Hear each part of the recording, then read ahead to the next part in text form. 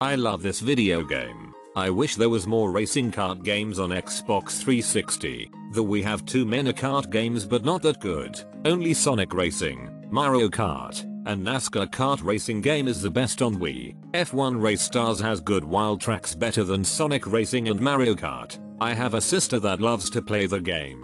She say it needs more girl drivers and the game for girls is okay. I use my control pad and it okay to use. Codemasters need to make another race kart game. I did not play all the tracks but it sure it very fun. Hey, get this game. You will love it so much. Xbox 360 need more racing kart games. The controls are similar to Mario Kart and is a ton of fun to play. My son is 6 and we both enjoy racing each other. Great game. I have fun when I play this game. I also love the fact that I can play multiplayer with friends. I don't know why people gave this game such a low rating. This type of game seems like a time killer something to do to have a bit of fun where you don't have to invest a lot of time trying to finish. I feel like 15 to 30 minutes and it was fun. Unlike me playing COD or some other game where I have been playing for 2 hours. Entertaining enough for the teenager, appropriate enough for the littles, and kind of a throwback for the adults with its Mario Kartness.